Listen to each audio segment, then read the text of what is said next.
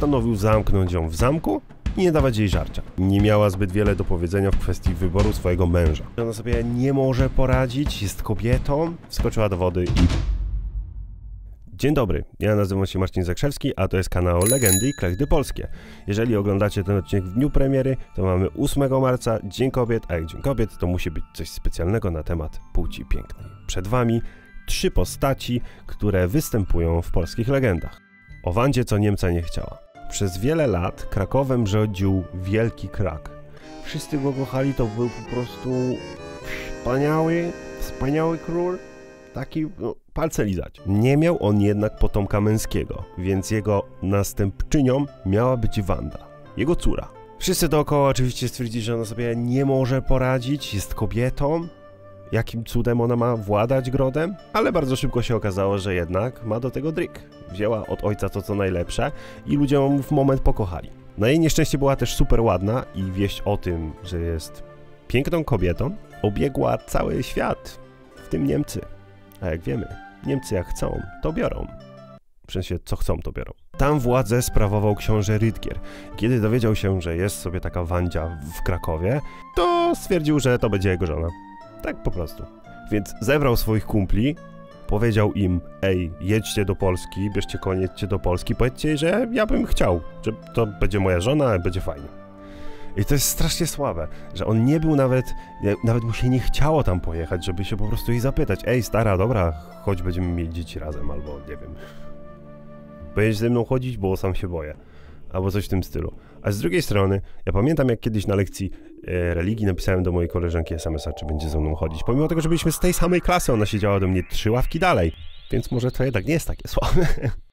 Koledzy wzięli te konie, pojechali do Polski, kraj był dziki, więc trochę to trwało. Jak zobaczyli ten Kraków, to się od razu zakochali, stwierdzili, że jak to jest możliwe. Tu jechaliśmy przez lasy, a tutaj jest nagle gród. Świetnie, jedziemy, super, na pewno będzie fajnie. No i było fajnie, jak zobaczyli jeszcze tą Wandę, to już w ogóle oni mieli z radości.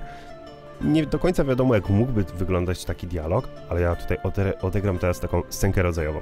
Słuchaj, Wanda, jest taki Stefan, to klasa językowa o profilu niemieckim, 1,80 m, blondynek, niebieskie oczy. Super ci z nim będzie. Na, na, no, naprawdę, no, to jest nasz ziomal, my go znamy bardzo długo, będzie ekstra. A co za frajer, nie mi wy... Ja nie będę z jakimś gościem, który nawet nie wiem jak wygląda. Zresztą w tej klasie z niemieckim to wszyscy mają niebieskie oczy i blond włosy. Wanda, ale słuchaj, on cię chce zaprosić na dyskotekę szkolną, zapłaci 2 zeta za wejście za ciebie. Naprawdę, jakby to jest mało? A w dupie to mam.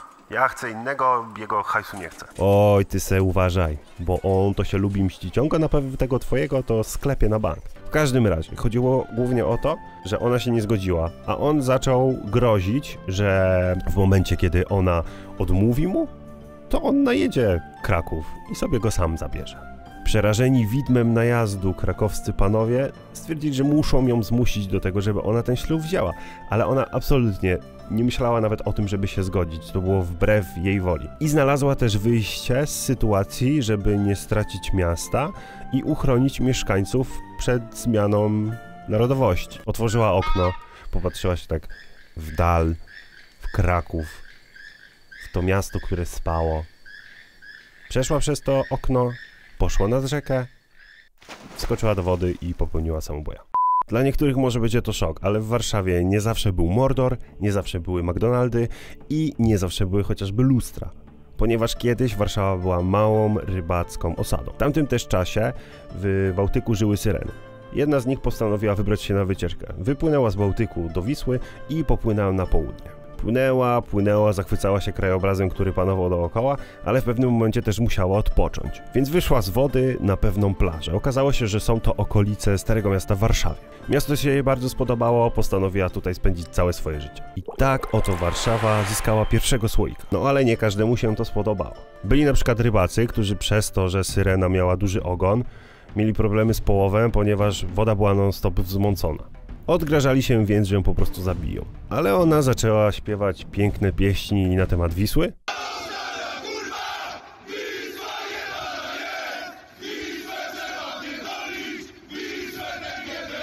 Dzięki temu ją pokochali. Ale to jednak nie była jedyna rzecz, która jej groziła. Bo był też taki jeden chciwy kupiec, który postanowił ją złapać, po to, żeby wystawiać ją później na targu i zbierać pieniądze od innych ludzi za to, że ona umila im czas. I niestety udało mu się to zrobić. Brzmi to mniej więcej jak zakładanie pierwszej wytwórni muzycznej w Polsce. Jej płacz usłyszał jednak syn jednego z rybaków.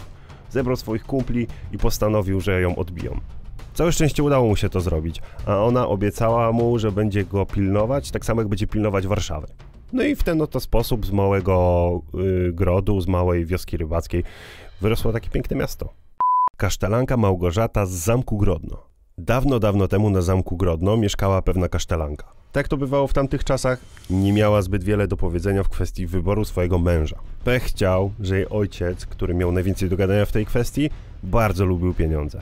Więc postanowił znaleźć jej jakiegoś bogola. Ona, jak żeby inaczej, kochała już innego, takiego giermka, który był strasznym biedakiem. Pewnego dnia do tego zamku przybył bardzo bogaty szlachcic, ale strasznie obrzydliwie bogaty. A jeszcze bardziej był obrzydliwy jego ryj. I obrzydliwie był też stary, więc no nie brzmiała to jak partia dla młodej dziewczyny. Ale jej ojciec myślał inaczej. Postanowił córkę oddać temu gościowi, no i niestety nie słuchał błagań swojej córki, aby jednak tego nie robić. Zaraz po ślubie Małgorzata stwierdziła, że pokaże cały dorobek swojemu dziadkowi, to znaczy mężowi. No i poszli na mury. On oglądał dookoła okolice, zachwycał się jej pięknem, myślał o tym, jak to będzie, jak to zaraz będzie jego, i ona go hyc, zrobiła mu samobójstwo. I niestety, wszystko byłoby w porządku. Ona oczywiście też udawała, że bardzo płacze po tym mężu, że w końcu udało jej się jakoś trochę ustatkować i że życie teraz już będzie we dwójkę.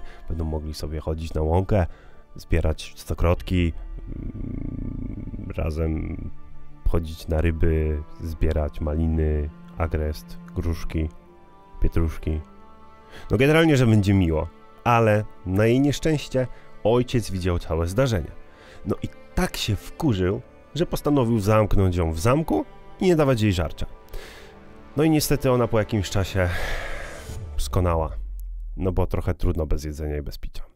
Dziękuję Wam bardzo, że zostaliście ze mną do końca, pomimo tego, że to odcinek był bardzo smutny i bardzo nierówny, ponieważ mm, kobiety, w, nawet w takich legendach, które są bardziej takimi szeptańcami, nie do końca mają odnalezienie w historii, są traktowane gorzej.